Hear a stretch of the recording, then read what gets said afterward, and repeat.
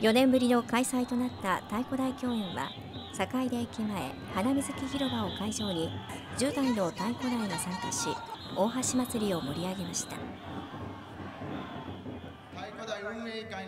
午後6時15分坂出大橋祭り太鼓台運営委員会野保利正会長の開会宣言で10代の太鼓台が花束を受け取りながら入場しました。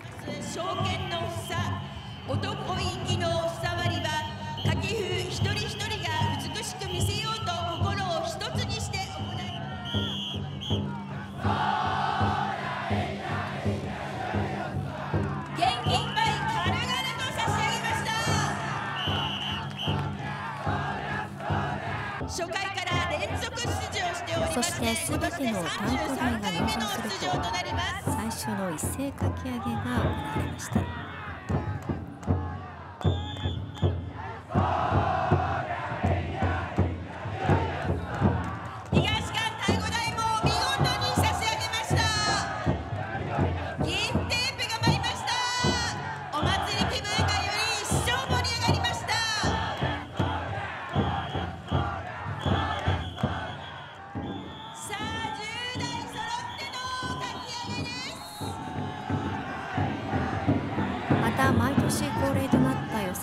は10代の太鼓台が2つのグループに分かれて息の合った差し上げを披露しました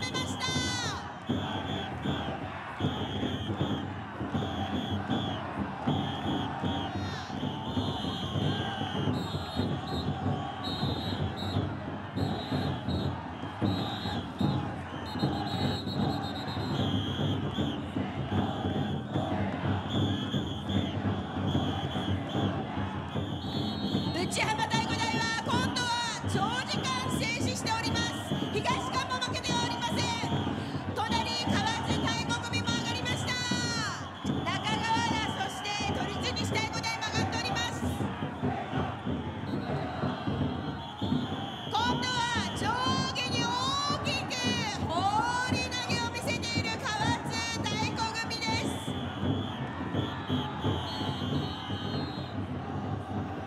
¡Ataca!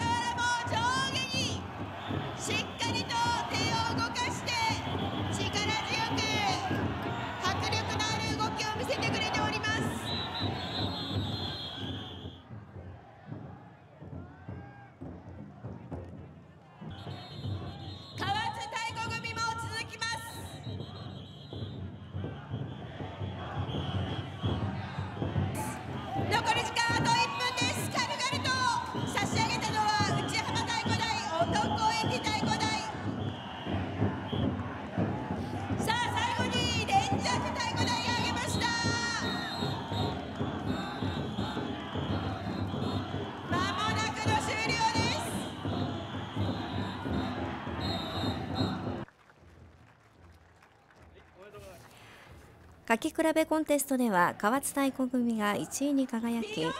福哲司市長から表彰状とトロフィーが贈られると記念の差し上げが行われました。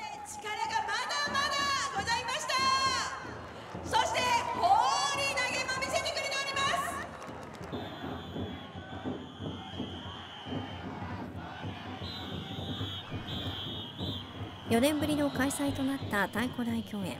会場は大きな歓声と熱気に包まれ幕を下ろしました。